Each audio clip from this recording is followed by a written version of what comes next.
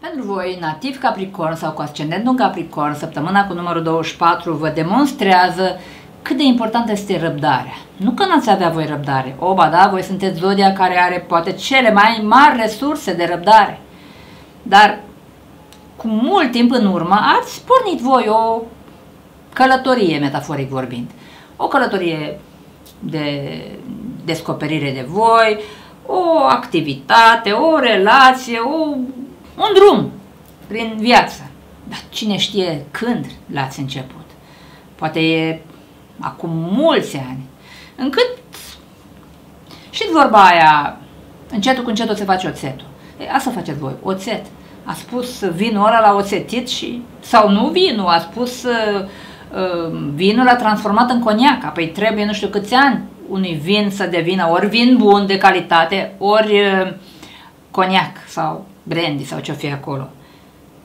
A fost o acumulare de experiență, ani de zile, răbdare să se construiască sau să se rezolve sau să ajungeți undeva, ani de zile, urcarea unei pante, ani de zile, wow cât ați, v-ați învățat lecția. Și s-ar putea să fi fost profesor și pentru alții. Voi erați acolo înainte mergătorul și care ofereați ritmul foarte lent de înaintare. Voi erați un melc și sus erați mergul care urcă dealul și toți cei din spate trebuiau să urce dealul în ritmul vostru, că toți cei care v-au depășit au luat în freză, nu s-au descurcat, s-au împotmolit, cineva a urmat ritmul ăsta extrem de lent, acum are de câștigat. Voi culegeți o, o recoltă la care cine știe cât de lungă a fost etapa de lucru a, a, a solului cu pricina. Ați fi pus voi sămânța încât poate ați uitat de ea?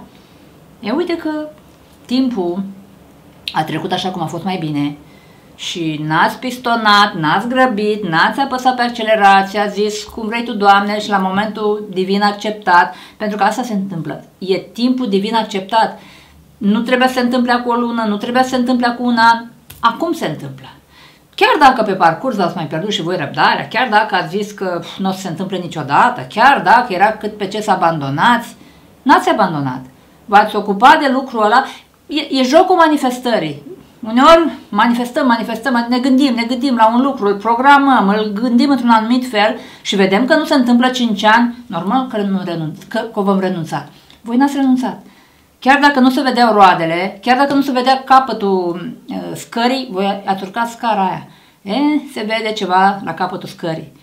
Se vede recolta, se vede pentru ce v-ați ați așteptat atâta sau ați construit atâta sau ați văslit atâta. Se vede, vede țărmul. Poate până acum ați fost ca o corabie în derivă pe o mare și normal că n-aveați nicio speranță că undeva ajunge barca. Sau poate totuși aveați și iată că speranța vă este recompensată cu primele semne, așa se vede, se vede țărmul în zare și normal că nu mai e decât o chestiune de alt timp, mult mai scurt, până când veți bifa destinația.